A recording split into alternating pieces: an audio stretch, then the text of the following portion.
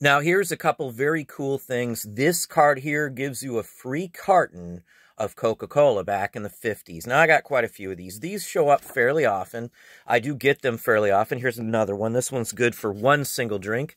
These have been canceled, so they have been used. These have not been used. Now, I usually can pick these up in big quantities. I've had hundreds of either one of these. I've had hundreds of the free bottle shaped one that's die cut like a Coke bottle.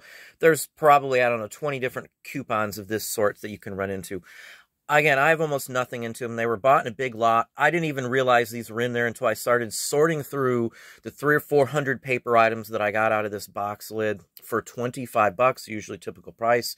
I made the price offer. These alone will get me eight, 10 bucks any day of the week. They're routine sellers. I usually price them at 19.99 and take whatever I can get. Sometimes I do get 19.99, average 10, 12 bucks.